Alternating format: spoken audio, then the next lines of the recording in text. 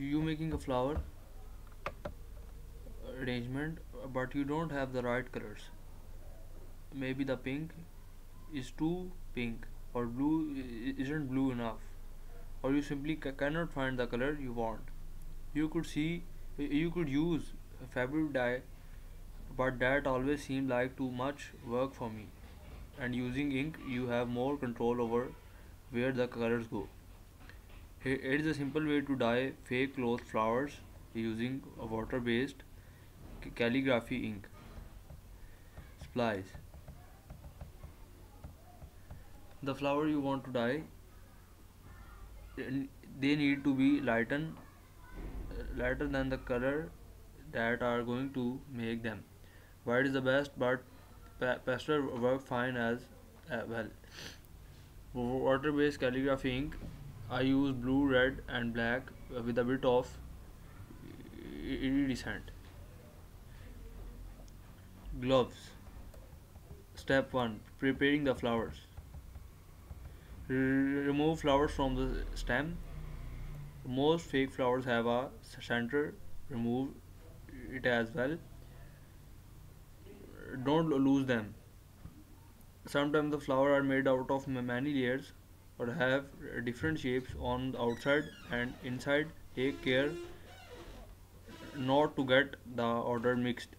It helps to, to take a photo or if you have enough leave one for reference. Step 2 pre preparing ink.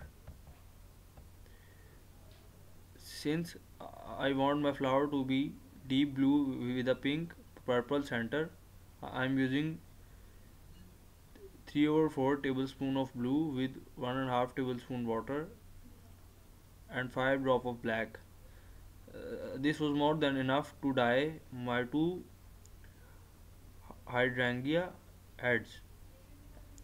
The recipe I use is based on the ink that I have. Different types and age of ink will have different ratios so experiment around a, bit till you have a two color that you want step 3 dyeing the flower. I want my flower to be solid color so I dip the edge of one petal into the ink and use my gloves gloved finger to spread the ink throughout the flower.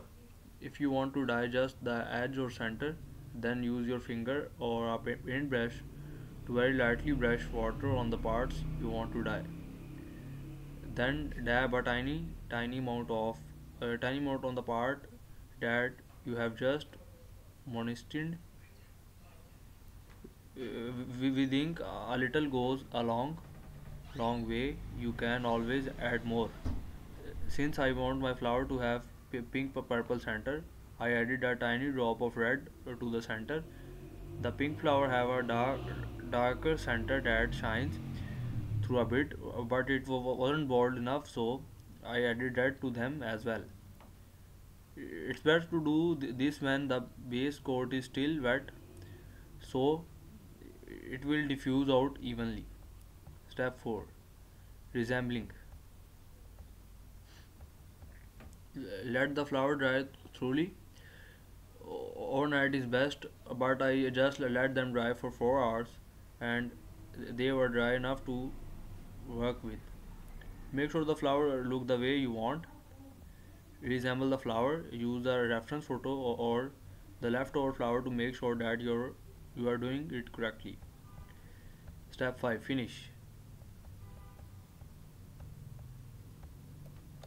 Thank you.